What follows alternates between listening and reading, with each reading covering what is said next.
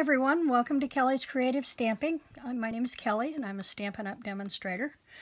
This video is more about December Daily, but I will be incorporating some Stampin' Up! products. Uh, this particular paper pad uh, was from Sugar and Spice Studio called Magical Christmas. It was from last year. And it's got some really pretty papers in it. I love the deer. Very vintage looking, and vintage is a lot of what I do. Vintage colors uh, muted tones of the reds and greens as opposed to the bright reds and greens. Um, so I'm looking forward into using this pad as my inspiration.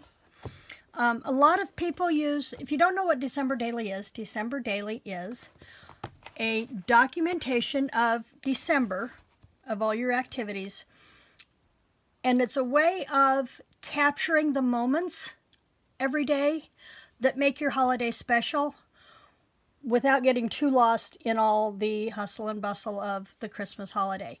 The I believe it was in, it was a conception of Ali Edwards, and I'll link Ali Edwards' channel and website down below.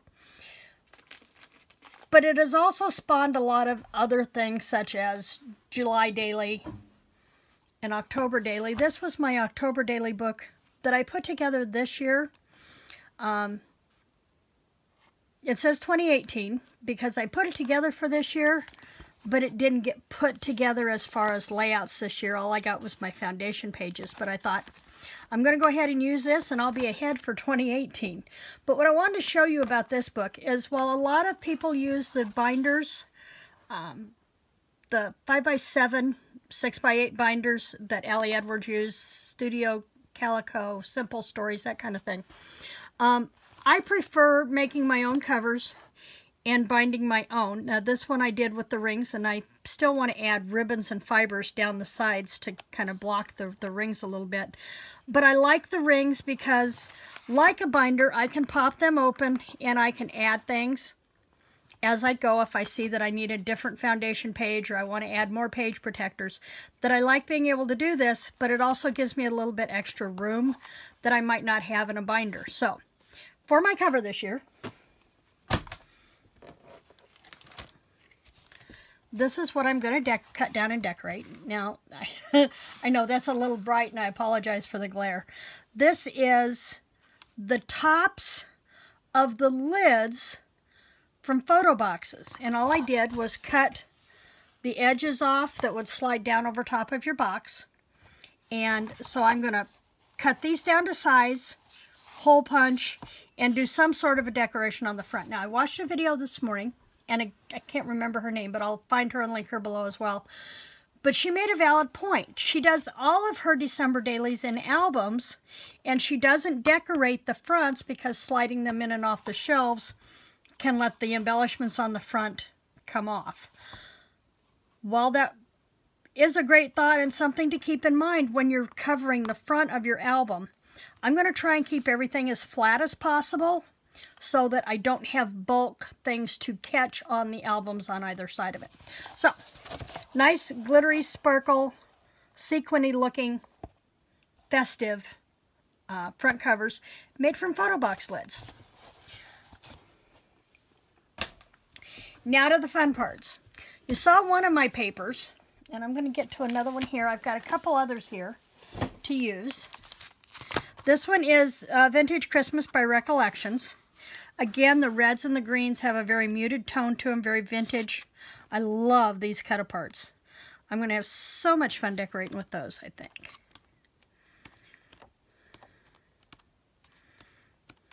I love this one because it already has a spot on the paper uh, to be able to stamp or stick a sentiment into.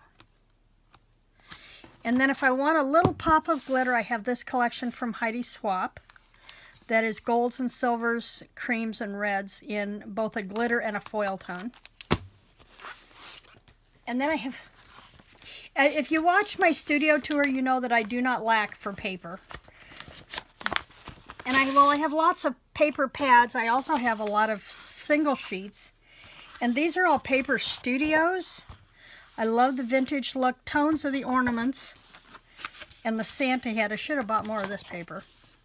The holly will make a great background, and apparently I really liked it because I bought several. and then the red stripe. And I love this vintage candy cane. I love the, oh, I can't think of the word, um, the distress along the border of this paper. So I have those. Oh, this one I didn't didn't come apart. The vintage packages.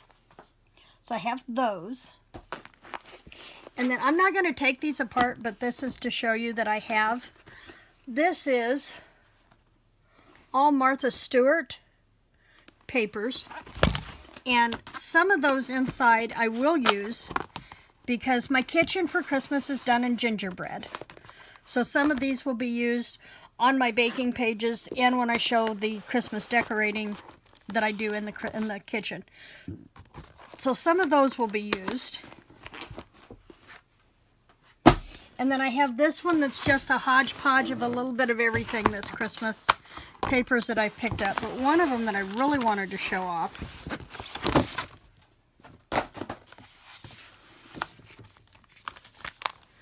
See how I keep my scraps? In a page protector. So I, they're with everything without getting crunched when I slide pages in and out. But I love this cut aparts. I have a couple of those. Again, the muted tones on this one. This one's more of a brighter red and green. Not sure how many of these I'll use. Argyle's. This one's a little more vintage. This one is by Masterpiece Studios. This one is basic gray. I love basic gray papers. And when it comes to vintage, next to Authentique, I don't think anybody does the vintage better than basic gray. And here's some more of the muted tones and the reds. A lot of these I've had for several years. I picked them up when I was doing teaching scrapbooking and paper crafting classes at Michael's in Peoria, Illinois. 11 years ago. So, time to start using up some of these papers. This is another one of my favorites. Let's see who makes this one. Paper Studio, go figure. I love, I seem drawn to Paper Studio papers and products in general. You'll see I've got one of their um, planners that I use, and I'll be showing that in a planner video. I love this vintage holly. And you'll find that I'm also going to be using some Tim Holtz stuff in mine, again, because he's got that vintage nailed. So as you can see, I have lots of different ones to choose from. This one is Bo Bunny. They're another company that does some really good vintage. And let's see, Paper Studios? No, this is Daisy D's. I love these little snowmen. Aren't they adorable? How I will use some of these, I'm not sure yet. That will come together as I start putting my foundation pages together, and that's going to be another video. This is just to show you my collection. So, lots of paper to pick from.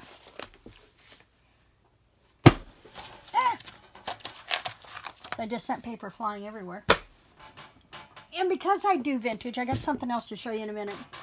But to keep everything collected, I'm doing everything in this basket. Everything that I will use for December daily, I'll keep in this basket on my table so everything is in place. Another one of my pieces from Michael's, my days at Michael's. Okay, now when it comes to vintage, one of the embellishments I want to use, and I can't bear to part with these, but these are vintage Christmas cards that I picked up at an estate auction several years ago.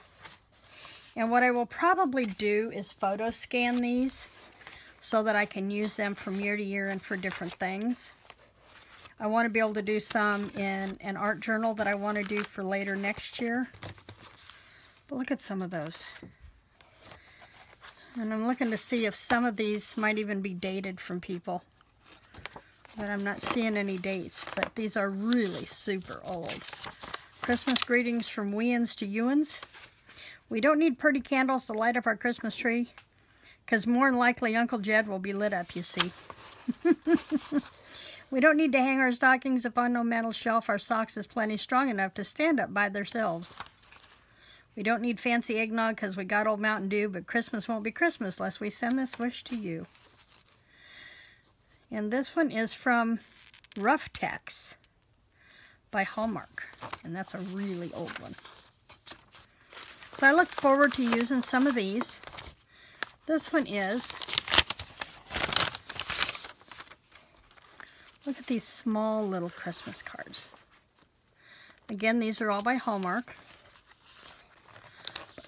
The detail in these cards is just pretty. New Year's greetings.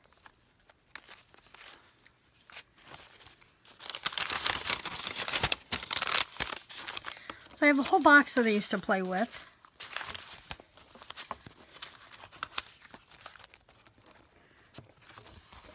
haven't looked at these in a while. Merry Christmas to my pal. We've had good times together and we've shared our troubles too. We've loafed a lot and laughed a lot. Good pals, that's me and you. And that is why this comes to bring my Christmas wish today and say there's not a grander pal in all the USA. Leave it to Hallmark. So I've got these to scan and play with to use as um, embellishments within the page selections. So they'll go in the box. Try not to tip this. I have several things that I want to use for denoting the days through Christmas, and I couldn't decide which ones I wanted, so these are the four that I picked up, and I will see as the album comes together which ones I decide to use. I like the flare badges from Recollections, but they're also going to put a bulk to the page, so if I use those, then I'm going to have to make sure that I maybe put one in a top right corner and put another one in a bottom left corner and then rotate those around from day to day so that I get an even stacking of the pages within the book. These would also be nice. These are from Recollections.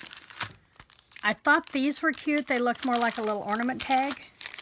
But I'm also really leaning towards these big round buttons. And these are number stickers. And so I'm really leaning towards using those. So that's one option for numbers. I've also pulled some things from Pinterest.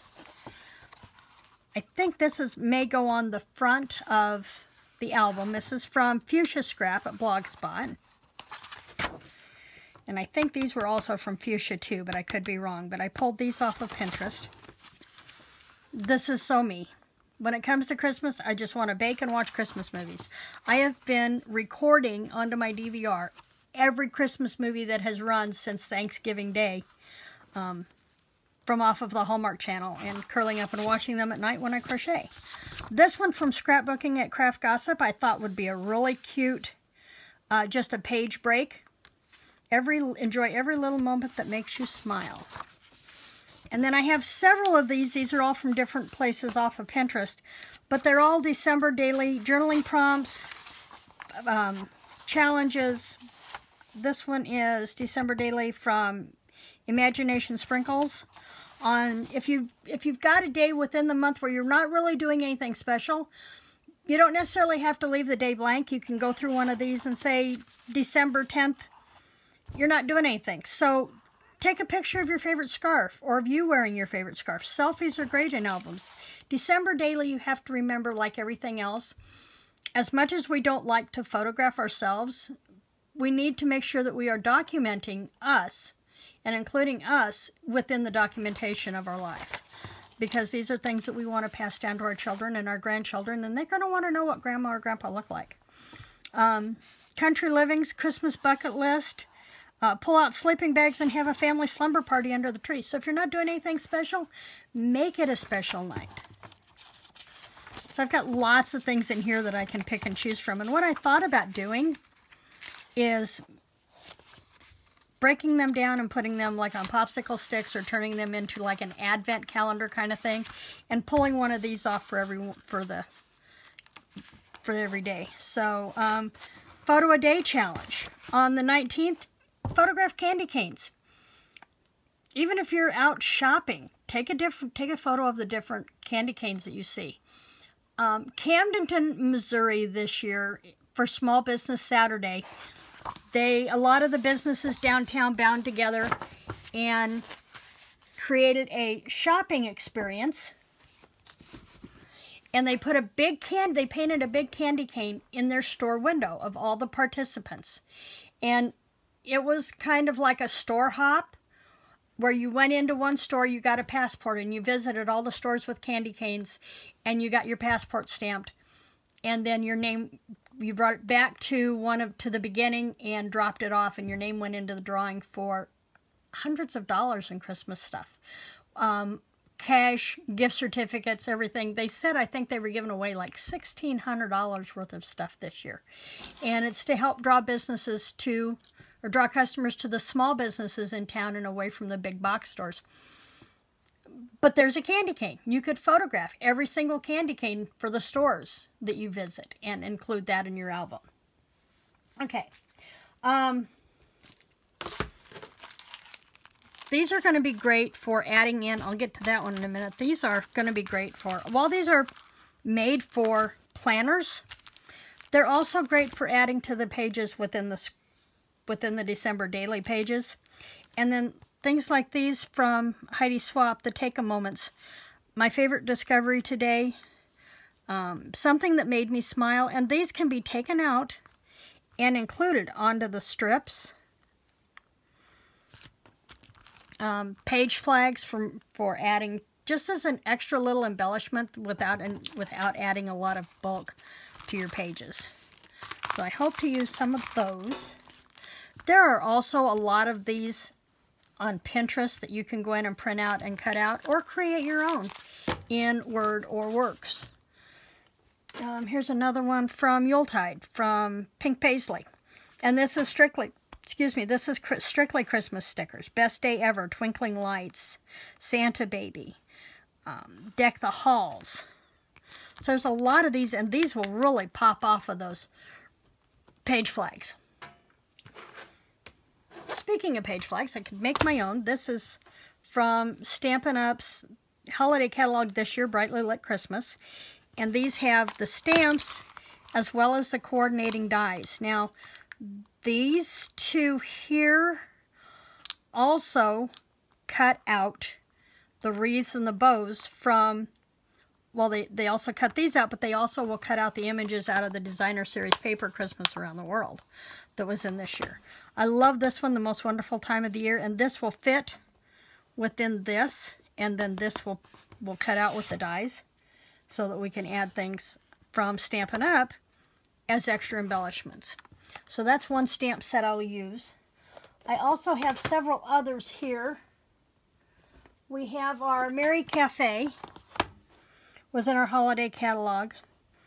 Uh, Christmas Cheer and a Happy New Year has some snowflakes for decorating. And we have the dies also for these cups.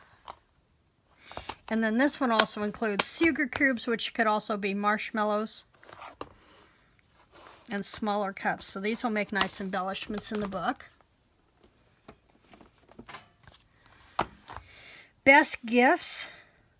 I love this, and I want to create a window card, and I'm thinking I may create a window tag to go inside of the uh, journal, or the December Daily. So I've got this one to put together. And then, let's see, what else have I got for Christmas? Uh, this one is Merry Patterns. This was a special that was brought out earlier this year. And I love the candles and the stags. So this is one that I'll probably use. This one will be good. Uh, sweets for my sweet, made just for you, December Deliciousness with the gingerbread. This will be perfect on the first weekend, I don't know what the dates are, but the first weekend in December when I do my holiday baking.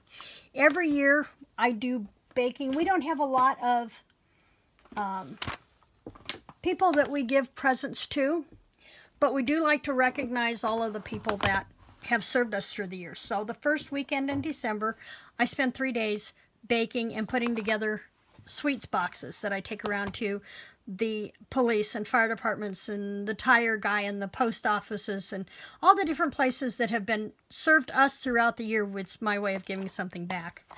These are cute from Stampin' Up! Christmas in the Making. Again, the little vintage girl for Christmas. The gingerbread, and these also have a punch with them. And the reindeer is actually the gingerbread man, flipped upside down. Peace on Earth and Deck the Halls. I love the ornaments here. I think these will be good for embellishing tags.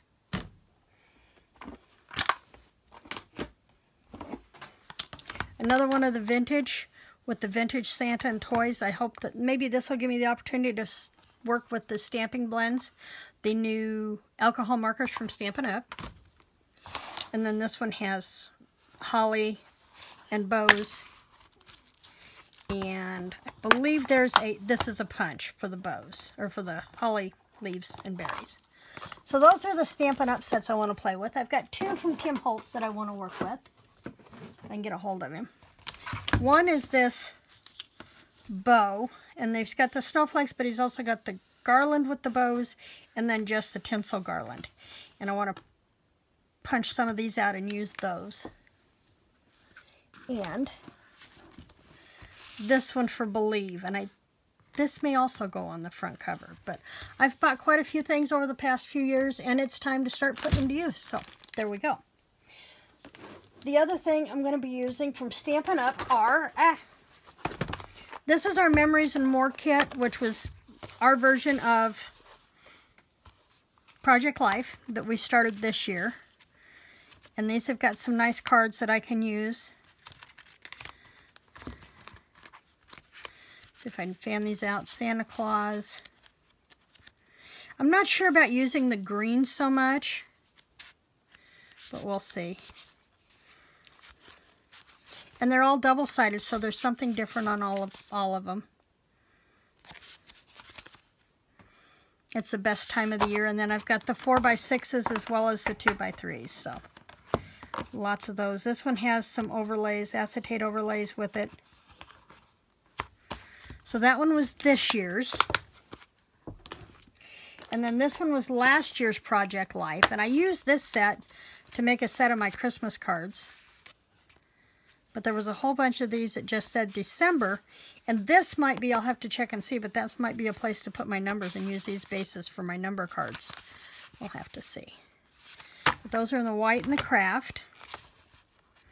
Another place that's already pre-printed on there to just stick one of those stickers from Heidi Swapp in. Um, back up to this one that I just just lost this one here. This might be a good place to put, say, your top five for the day. Things that you did that made you smile. Um, top five gifts on your children's wish list. I'm not sure what I'm going to do with this one, but I really like this one. So we'll have to see how that comes about. That one would be a good one with my husband. Meet me under the mistletoe last year I wanted to do December Daily. I had a kit all put together. I knew what I wanted to do, and I even took pictures every day. But the album itself didn't come together. But this year is really special. For the first time in 34 years, my husband is going to be off for Thanksgiving, Christmas, and New Year's. Of course, this year it also means that he's laid off till after the first of the year. But in 34 years, we've never been together for all three holidays. So this is really special. So something about pearls for bullets, points, in your journaling. I love the pearls. And then we have these. These are white accents from, but these will also color with the alcohol markers. So I can change the color of these. And then lastly, I have these. I have the little tree paper clips, these cute little gingerbread pieces. I have a couple of wood things that I picked up from out of the dollar spot. More of the flare buttons. This may be a way that I can bring in the flare buttons instead of using them as the as the uh, the dated the dated ones. Use these in place of and just add a little bit of flare here and there. These are by My Mind's Eye. And I love these. These are gift tags. But what great little spots to add within the journal. Now they're a little brighter red than I think I want to use, but I think I can tone them down by putting them against a kraft background. So we'll try that. And then I have, I don't need the whole package of these from Santa, but of, of Santa heads, but you know, they come that way. So I'll have lots of Santa heads to use over the next several years. And then this one is also, um, this is from Amber, Amber LeBeau from and Bright. And I'm, yeah, I'm dumping these out and I'm probably going to make a mess, but I'll show you why here in just a minute. Getting them in and out of this package routinely will be a disaster. And I can't really see anything. I can't pick through them and see what I want. But there's some cute pieces in here. I love the gold Noels.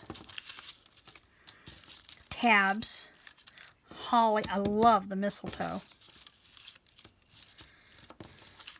All nice little punch outs that I can use. The stag deer. Look at this one with the old man Santa in there. I love that. But DVD cases are great for keeping these smaller embellishments in. Now there's a naughty. I wonder if there's a nice in here somewhere. Or somebody knows something more about me than I wish they knew. A little string of Christmas lights. And a lot of these are on a clear acetate, so they'll they'll become part of your background instead of standing out so starkly. So I can put all of these, that cute little ornament. I can put all of these in here and be able to pilfer through them when I want and get the pieces that I want. I'm trying to get them all without losing the stars into my lap here. Close that up and then stick this in the plastic cover sleeve so I know what's in there. And that'll store just like that. So I think that gives you an idea of what I plan to work with for my December daily. Um, oh, I have fibers. Fibers was the other thing. I have tinsels, and I got these, I think, at Michael's, because they're from American Crafts. And I have the red, green, silver, and gold. Again, the more traditional red, green as opposed to the, the muted. And then I have, these are Scotch washi. And then I have this one from American Crafts, and I just, it's just that little something different that makes your album stand out. So those are the embellishments, all the ribbons I'll be working with. And I think that gives you an idea of what I'll be playing with. I'm not going to do a post every single day about December Daily because I have other things that I want to share. But I hope to do a video once a week recapping my week crossing my fingers here. Um, we've had some technical issues with the camera before, and I think we've got them straightened out. So I'm going to be doing more videos in a wide variety of things, but everything that falls under my stamping and paper crafting, not just Stampin' Up. So I hope you'll come back and to my studio for another day of playing and seeing what I'm playing with and hoping that I can inspire you. If you like what you saw today or you plan on playing in December daily and want to make sure that I get to see you, please leave a comment below and I'll come check out your December daily posts. And I'd love to have you as a subscriber so that you never miss an episode in my studio. So please subscribe.